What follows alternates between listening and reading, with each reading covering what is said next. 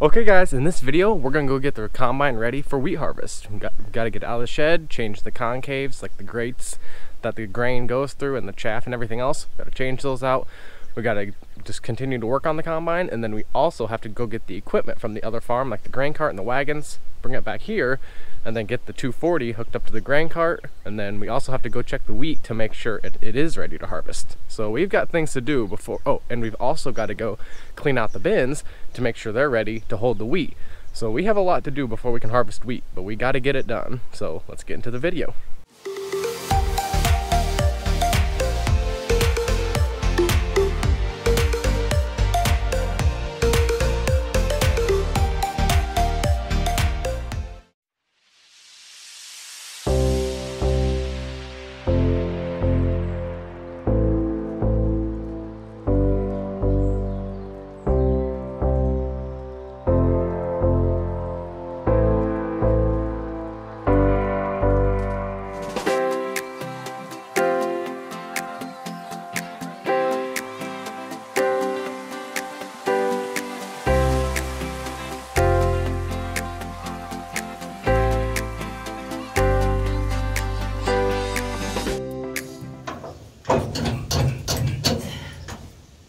Wow.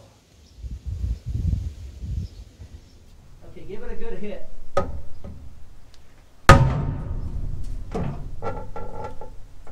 Again.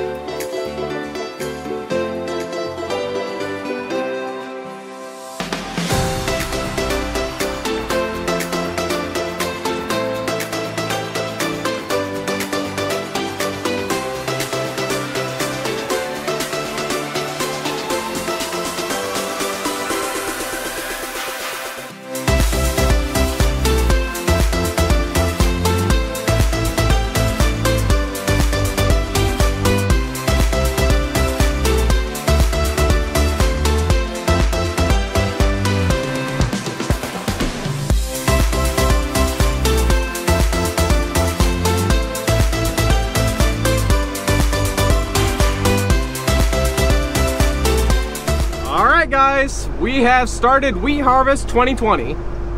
We're not gonna go tonight because one, it's a little tough, and two, we don't have any wagons or the grain cart or anything ready. So we're just gonna quit for tonight and start and go get, well not start, but we'll get the stuff ready early tomorrow morning, like the grain cart and the wagons. So we'll see you then.